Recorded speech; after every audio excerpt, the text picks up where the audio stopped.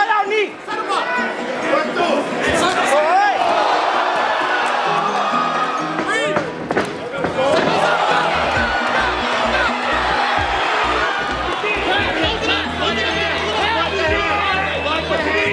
Fight your hand!